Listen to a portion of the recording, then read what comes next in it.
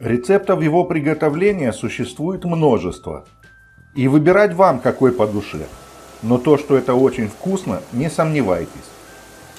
Привет, друзья! Вы на канале Волшебная Еда и сегодня готовлю для вас фалафель по своему любимому рецепту.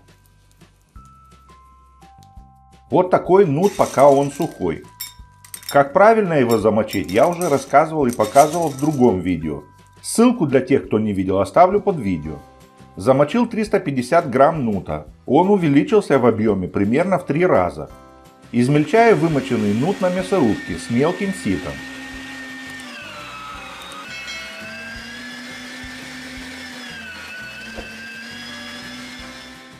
По одному пучку петрушки и кинзы измельчаю к нуту, также на мясорубке.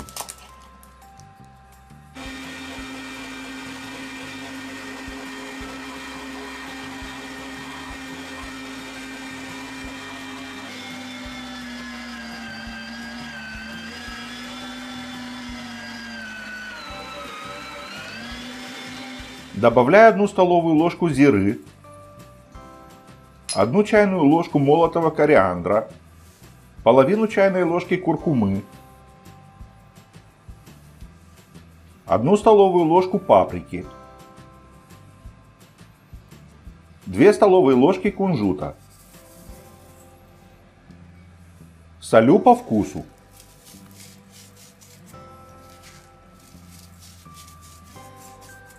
Перемешиваю все составляющие фарша для фалафеля.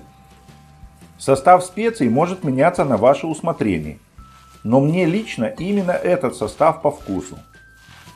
Проверяю фарш на готовность, он должен легко принимать форму и не рассыпаться.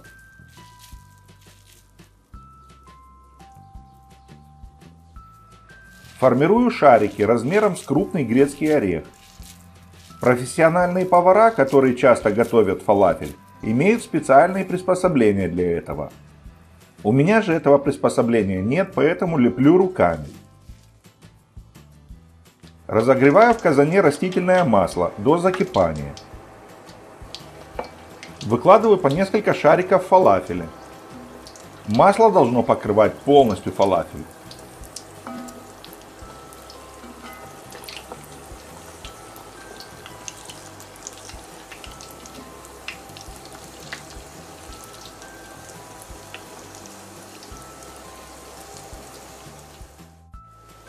Обжариваю примерно 3 минуты.